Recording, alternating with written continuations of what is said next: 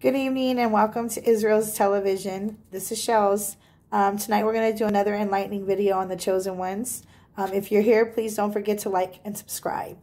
I did decide to do something different today. I actually wrote my points down just to see if that will make things go a little smoother. Um, and we're going to try this out, but if I feel I'm looking too mechanical or if it doesn't mesh well, um, I'm going to go back to um, another way or figure it out. We're going to figure it out. Um, anyways, I hope you like the video. There are going to be a lot of purposes needed in the kingdom. Everyone is not going to have the same mind, purpose, or skills, which is why it's so important to let God sort the wheat out and just keep moving towards your healing and walking in love. Also, everyone is not going to have the same path to God. I've realized on my journey and the different levels I've been able to go through that God tends to reach people where they are and at their level of understanding. So when you realize what God meant when he said he was love, then you can accept the fact that everyone of God may not follow the same religion as you. But as long as they walk in the love of God, it isn't for humans to judge. So I actually have found a, quite a few verses that actually correlate with what I just basically was going over and saying. And it basically, um, God's saying like, there's going to be more than one way to me. Like the, the greatest of these is love. Um, those that are walking in a path of love and healing and, and, and, and, um, walk with truth and righteousness. Um, those are God's people and they're all going to have different ways of explaining him. Um, so here are the verses. Psalm 17:5. Hold up my goings in thy paths, that my footsteps slip not. Psalms 23:3. He restoreth my soul. He leadeth me in the paths of righteousness for his name's sake. Isaiah 2 3. And many people shall go and say, Come ye, and let us go up to the mountain of the Lord, to the house of God of Jacob, and he will teach us the ways, and we will walk in his paths. For out of Zion shall go forth the law and the word of the Lord from Jerusalem. Jeremiah 6 Thus saith the Lord, Stand ye in the ways, and see, and ask for the old path or the ancient paths. Where is the good way, and walk therein, and ye shall find rest for your souls. But they said, We will, we will not walk therein. There's more to that verse. And if you would like, you can look up Jeremiah 6 16. Colossians 2 16.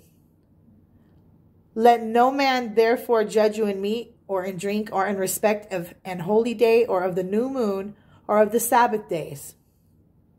And finally, I'm going to finish with Romans 14, verses 1 through 14. Accept him whose faith is weak, without passing judgment on disputable matters. One man's faith allows him to eat everything, but another man whose faith is weak eats only vegetables.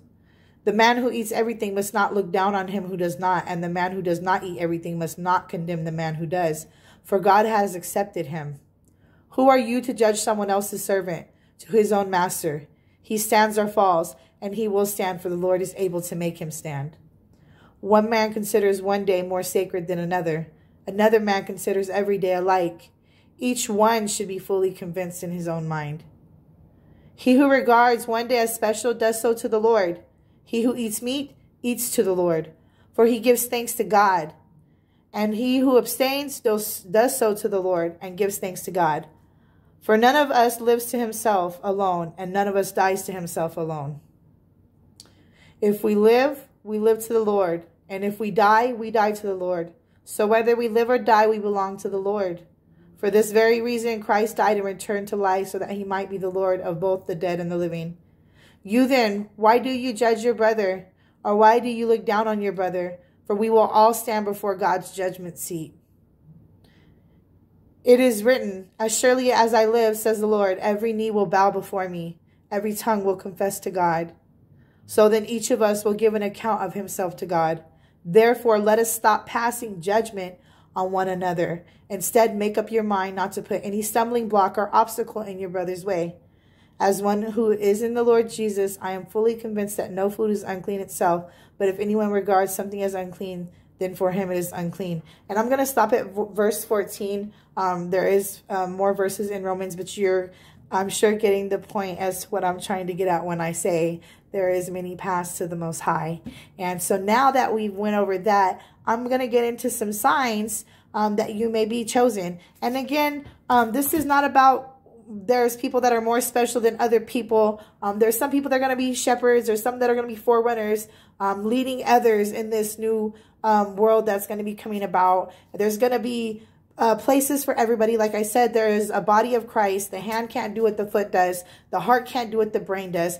Everybody's role is necessary. Um, but there is going to be certain people that are going to be chosen to um, basically bring this thing in and blaze the path. So, and those same people are going to be the people that are going to help other people transition into this. But everybody's special. Everybody has a role. God has something for everybody. And um, here we go. Sign number one. When chosen by God, your life will go through a series of tests and trials to prepare you for your purpose. Honestly, most of you will look backwards and probably be considered a rebel. And when I say tests and trials, I mean everything but death. Yes, everything heartbreaking, bone breaking, unimaginable thing you can think of to do to a human, the chosen ones will have gone through a vast combo. You're not your own, you are God's. Yes, even before you consciously chose God and healing, you are already His, which is why the tests and trials come.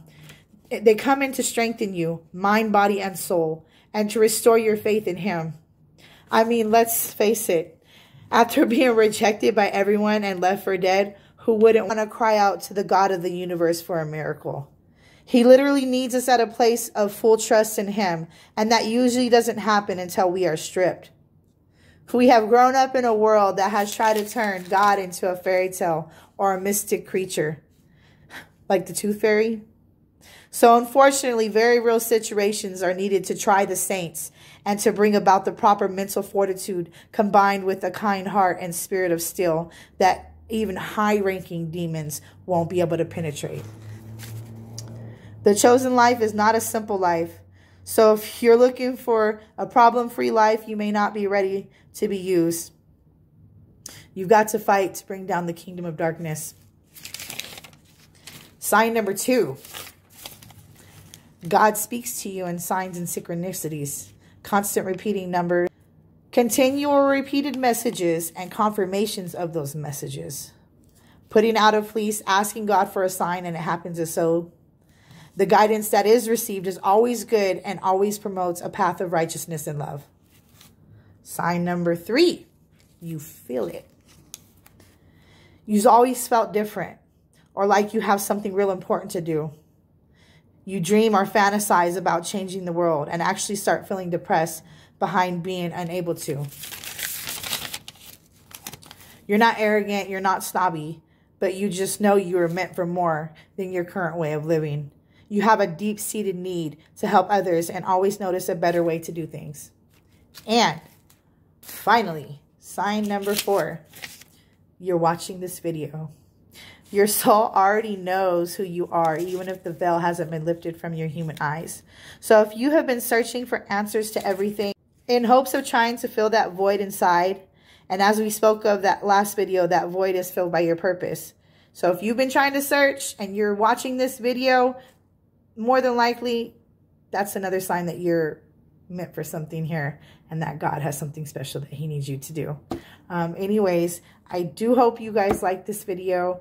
Um, it was a joy to think about and do because, um, you know, a lot of times in life, I, I always didn't really understand why inside I really tried to do good, but things just kept happening and I knew I was looked at backwards. And even though I really just wanted to love people and just do good, um, it was just really rough. And so coming to a lot of this knowledge now and realizing that all of that was just to press the right oil out of me and get me to a proper place that he needed me in order for me to fulfill his work is just a beautiful thing. He gives us beauty for our ashes. Um, it's not for nothing. It was training, preparing us to go forward and be ready for whatever is going to happen and whatever he has for us to do. With that said, I hope you all have a good night. Thank you for watching. Don't forget to shine your lights and be sure to like and subscribe. See you soon.